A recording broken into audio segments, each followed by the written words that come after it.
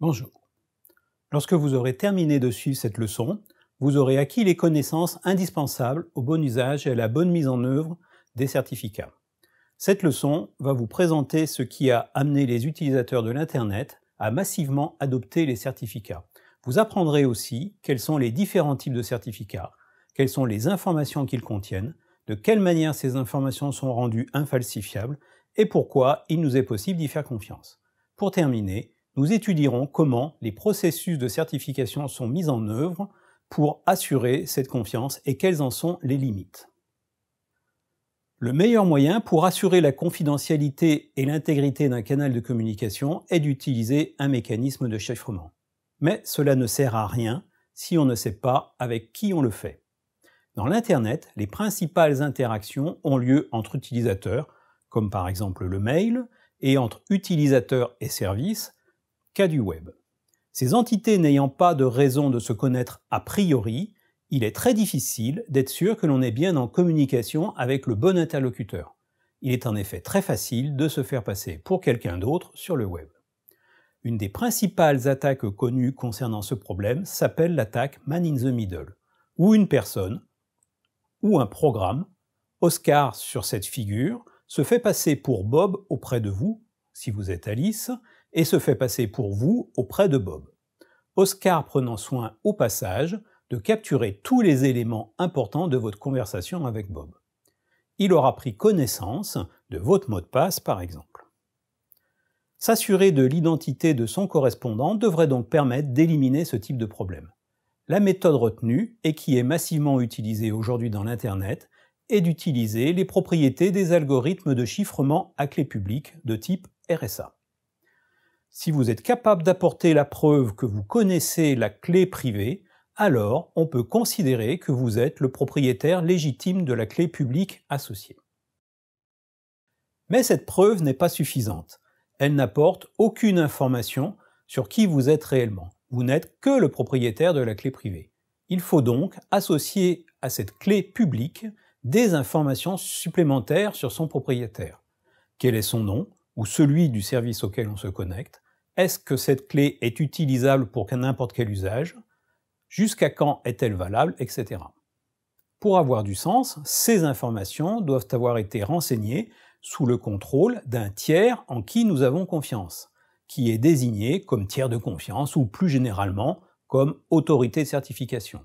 Ces informations sont signées cryptographiquement par cette autorité de certification pour les rendre inaltérables.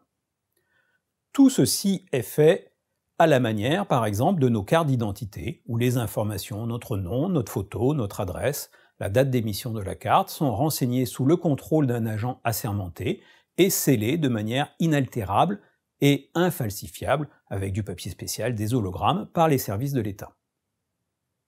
Les certificats que nous utilisons majoritairement aujourd'hui sont des certificats qui respectent la norme X509 V3 décrites dans le RFC 5280. Ces certificats contiennent les informations suivantes.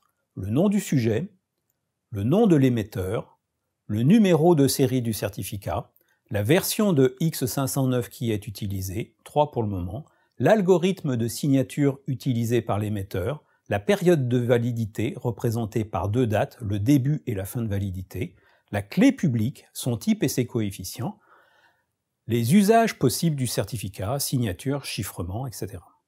et de nombreuses extensions. L'ensemble des informations contenues dans les certificats sont scellées par une signature électronique qui est apposée par l'émetteur du certificat, l'autorité de certification. Ici, Google Internet Authority G3. Avant d'utiliser un certificat, il est impératif d'en vérifier la validité on peut commencer de manière naturelle par vérifier que le certificat concerne bien le service que l'on attend. Le champ sujet correspond-il par exemple bien à notre interlocuteur? Ce certificat est-il valable pour l'action que l'on veut entreprendre? Est-il en cours de validité Etc. Enfin, nous est-il possible de vérifier que la signature de ce certificat a été apposée par une autorité de certification possédant elle-même un certificat valide?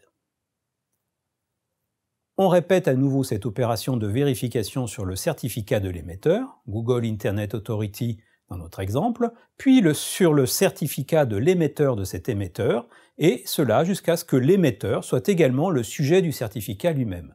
On appelle alors ce dernier certificat la racine de certification.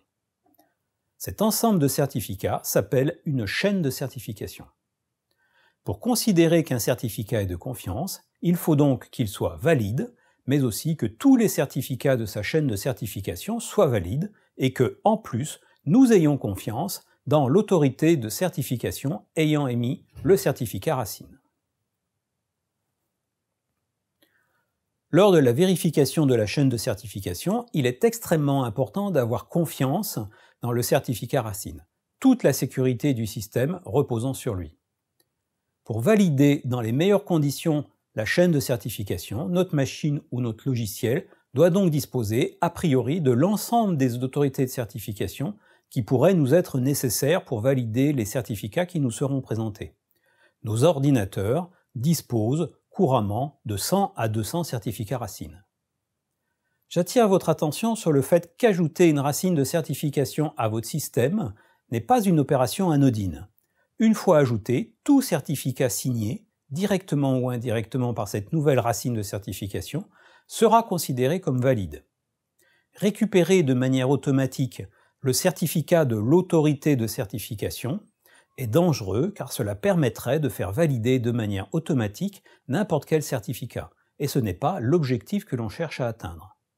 Pour faciliter l'étape de vérification, des protocoles comme TLS transmettent, à l'exclusion des certificats racines, l'ensemble des certificats de la chaîne de certification. L'objet d'une infrastructure de gestion de clés publiques, Public Infrastructure en anglais, que l'on abrège par PKI, est de créer des certificats, de révoquer des certificats lorsque ceux-ci sont compromis ou que des informations qu'ils contiennent sont devenues obsolètes, de gérer le statut des certificats sous forme d'annuaire, de liste de révocation, de conserver des copies des certificats et même dans certaines situations des copies de certaines clés privées. Une PKI est en général organisée de la manière suivante. Elle dispose d'une autorité d'enregistrement à qui les utilisateurs font leur demande de certificat ou de révocation d'une autorité de certification qui se charge des opérations de signature des certificats, après en avoir vérifié les informations, d'un service de séquestre de clés si ce service est offert par la PKI, d'un service d'annuaire où sont conservés les certificats émis, et d'un service de validation qui rend compte des révocations potentielles. Avoir confiance dans le certificat d'une autorité de certification revient à avoir confiance dans la structure qui l'a délivré, et cette confiance est liée à plusieurs choses. En premier lieu, elle est liée à ce que l'on appelle la politique de certification, qui couvre les conditions, les règles et les procédures de délivrance d'un certificat. Ensuite, elle est liée à la rigueur de mise en œuvre des processus de vérification des informations qui seront associés au certificat. Et enfin, au soin qui est apporté à la protection de la clé privée associée au certificat racine, cette dernière étant l'élément le plus précieux du système. En général, l'accès à un service sécurisé se décompose en un certain nombre d'étapes qui dépendent des protocoles utilisés. De manière générique, cela peut se passer de la manière suivante.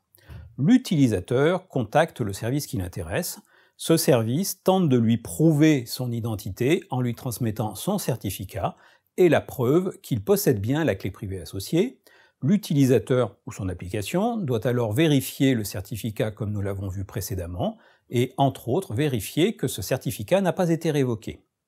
Lorsque toutes les vérifications sont réalisées sans erreur, l'utilisateur peut accéder en toute confiance au système. Dans le cas où cette vérification échouerait, l'utilisateur ne devrait pas tenter de passer outre le message d'alerte bien que, en général, son principal objectif soit d'accéder à ce service.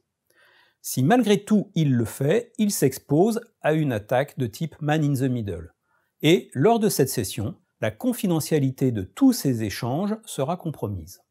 Si de plus, il accepte de valider ce certificat, il enregistre l'information que le certificat est valide, toutes les communications futures avec ce service peuvent être compromises. Le problème est encore bien plus crucial s'il valide un certificat intermédiaire ou un certificat racine.